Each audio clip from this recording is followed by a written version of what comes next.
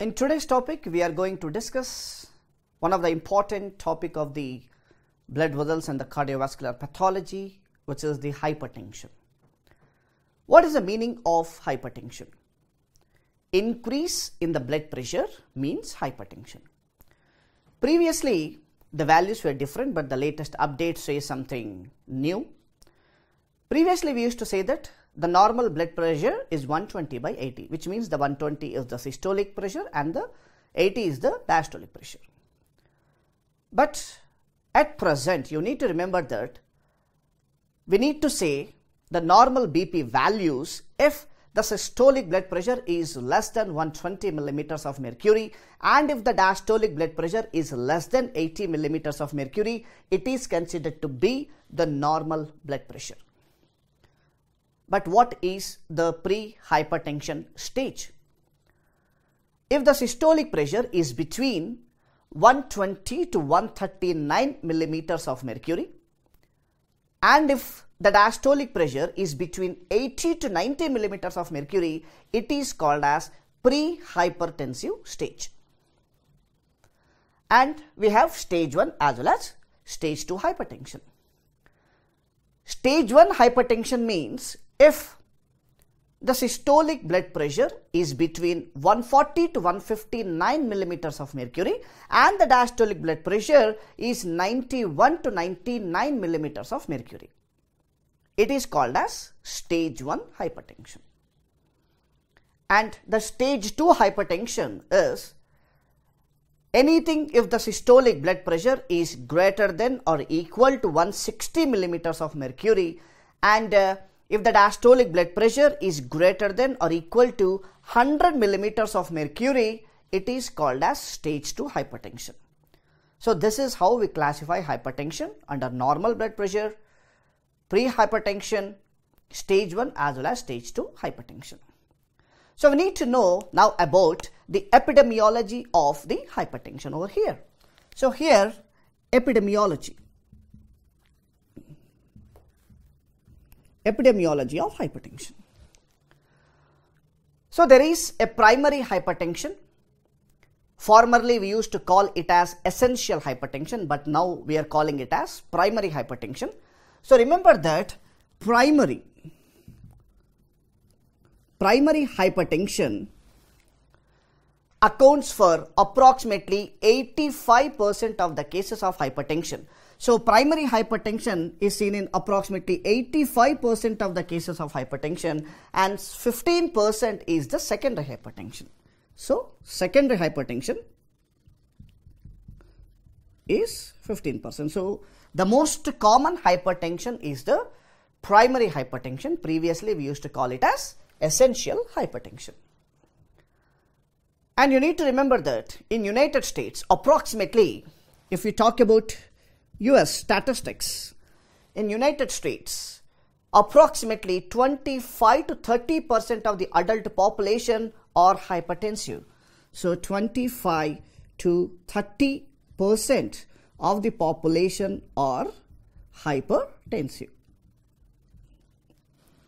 So these statistics are very very important for the exam.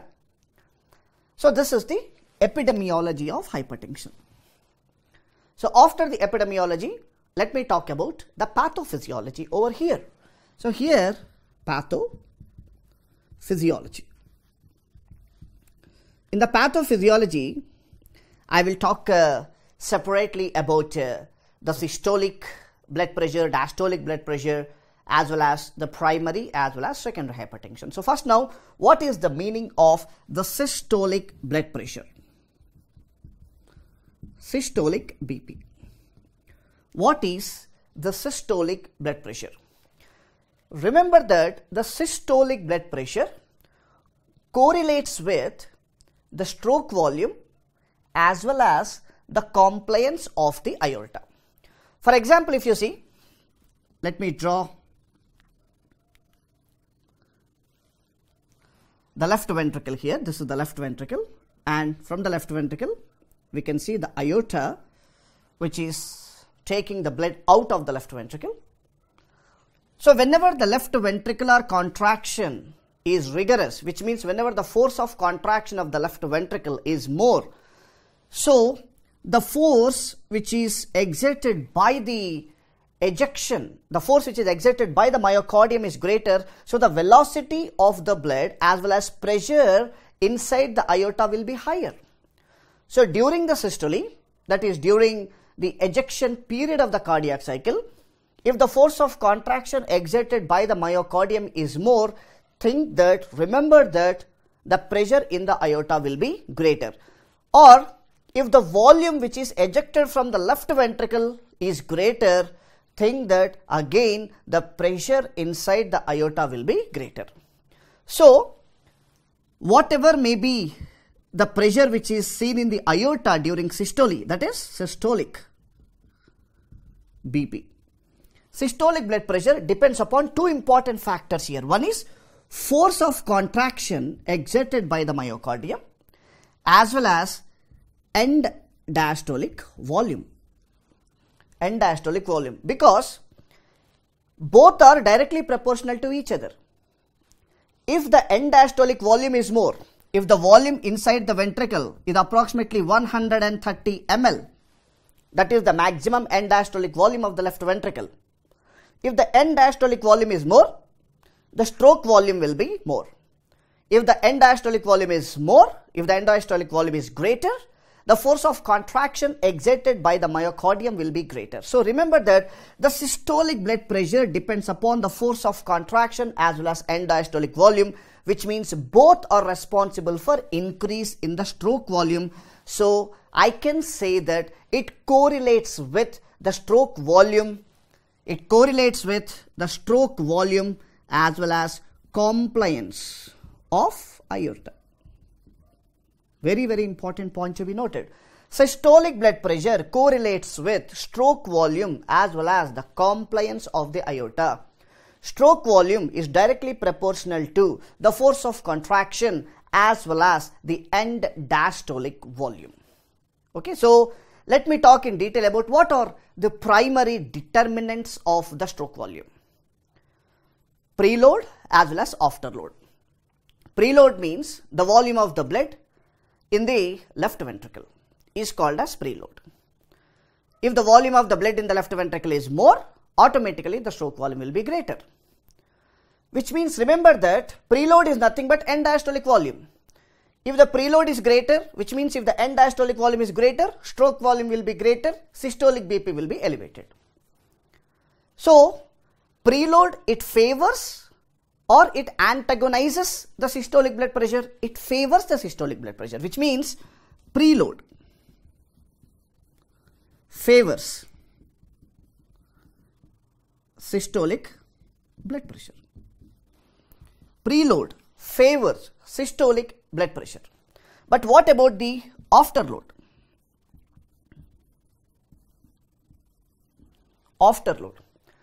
Afterload, we can also say that it is the uh, or the resistance the left ventricle contracts against the ejected blood which means for example there is some kind of resistance in the arterioles right arterioles are called as resistance vessels so the left ventricle has to pump to overcome this resistance which is exerted in the arterioles right if the resistance is greater then the left ventricle has to pump with much rigorous force to overcome the resistance which is created by the arterioles. So afterload means it is the resistance the left ventricle contracts against the ejected blood from the heart. So the usual resistance uh, actually seen in the peripheral vascular arterioles in the peripheral vessels. So this is what is called as the afterload. Which means if the resistance is greater then remember that the systolic blood pressure will be affected according to the like decrease or increase in the resistance. So here let me talk about what are the examples of afterload. First one is the aortic stenosis. There is a stenosis of the aortic valve over here. So aortic stenosis is an afterload that is present at the level of the aortic valve, right? What is the afterload? Afterload means resistance. So resistance has been offered at the level of the aortic valve only in aortic stenosis. So this is one of the best example. Aortic stenosis is one of the best example for the explanation of afterload.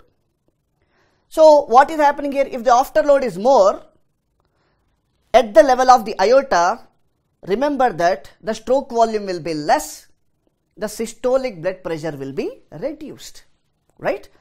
Greater the degree of resistance at the level of the aortic valve, lesser the amount of the blood which is ejected into the aorta, lesser the stroke volume, lesser the systolic BP. And another best example I can say is vasoconstriction of peripheral vascular resistant vessels. So whenever there is a vasoconstriction of arterioles that is peripheral vascular resistant vessels, it creates a greater resistance. So whenever it creates greater resistance, automatically you need to remember that it affects the stroke volume as well as it affects the systolic blood pressure. And third one is the contractility of the heart. If the contractility of the heart is greater, think that stroke volume will be greater and systolic blood pressure will be greater. If it is less, stroke volume will be less and systolic blood pressure will be less. So this is how the preload as well as afterload has a major effect in the determination of the systolic BP. So other important point I need to talk over here is the elasticity of the vessels that is the vessel elasticity that determines the compliance of the aorta or the ability of the aorta to expand when the like uh, blood is ejected into the aorta from the left ventricle. If there is a normal elasticity in the aorta, whenever the blood is ejected from the left ventricle to the aorta, aorta expands, right? When aorta expands, the pressure will be normal.